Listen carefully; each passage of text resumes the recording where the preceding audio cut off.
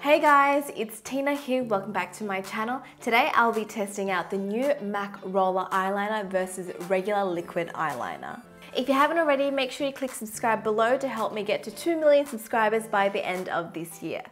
I'm sure you guys have seen this all over Instagram and YouTube. A lot of people have been reviewing this and I haven't actually found anyone testing it against just normal liquid eyeliner. So I wanted to test it out to see which one is actually better. So this is the MAC Roller Wheel Liquid Liner. What's really unique about this eyeliner is that it has a spinning disc applicator that absorbs the perfect amount of product. I've never seen anything like this on the market, but apparently the rolling applicator gives you a continuous smooth, even stroke of color. Here's a close-up of the applicator. As you can see, it looks like a mini pizza cutter.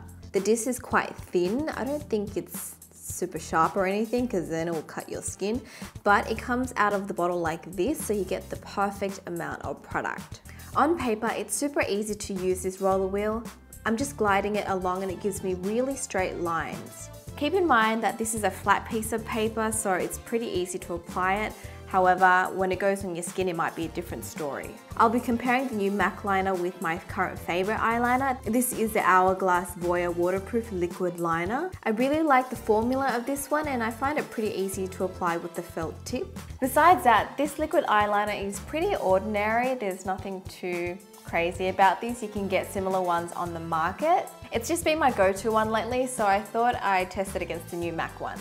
So first, let me show you how I normally use my liquid liner, like the pen one. I'm gonna do it on this side and then we're gonna compare with the MAC roller one. So how I normally apply this is I kind of just start on the outer corner and do small strokes, staying really close to my lash line.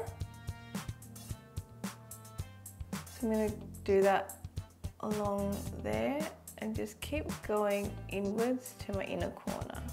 For this type of eyeliner, I find that small little strokes is key.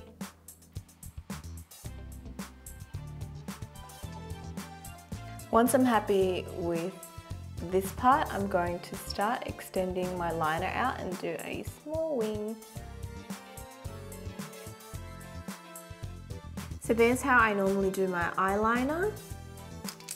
Now for this eye, I'm gonna be trying the MAC Roller Wheel. This was sent to me and the formula I got was the shiny one, which I don't really like love shiny eyeliner. I would probably prefer something a bit more matte, but uh, I'm just gonna go in to see how easy it is to use this tip. I'm going to use it to line my eyes, just like that part first, and then I'll wing it out after. So let's go in. Oh, so far so good. It's actually like super pigmented. I feel like the formula is a little, um, I don't know, it feels a bit like more runny than um, what I'm used to, but it works, it's good. I actually feel this roller wheel is so much easier to, to use to apply like really close to your lash line. Now I don't think that's like perfect, but I'm going to just try to like clean it up and make the lines a bit more like sharper and just crisp.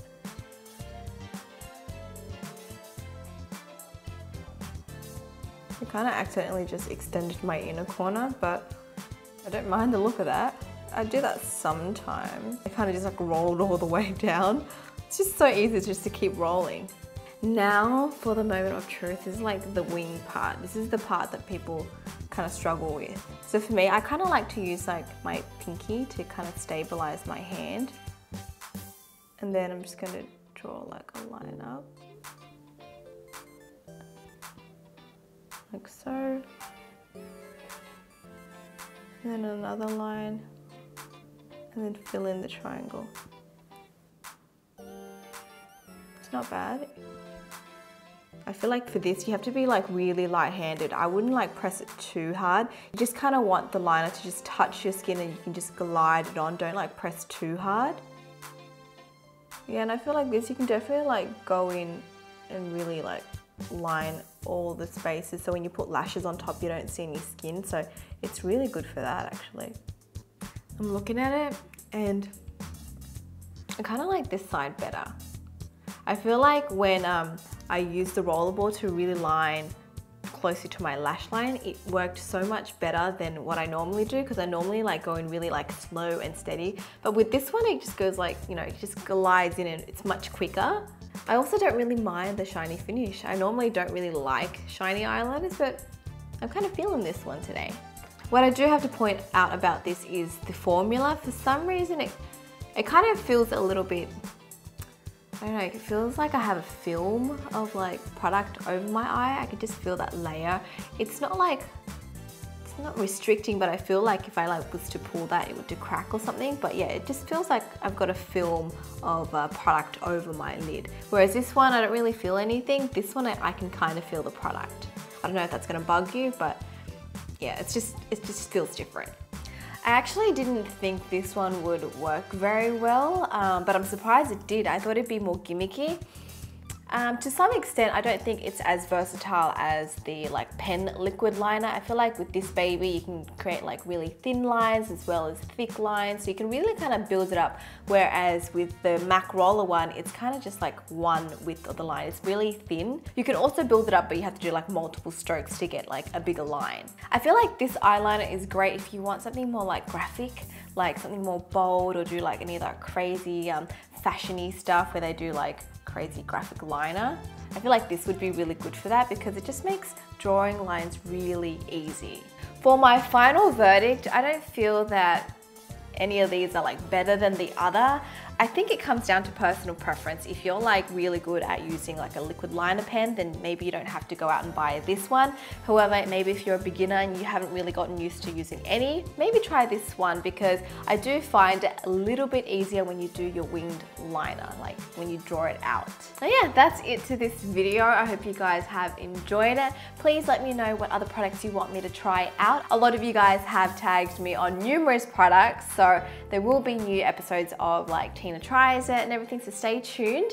If you haven't already, make sure you subscribe to my channel to stay updated with future videos and I'll speak to you guys next time. Bye!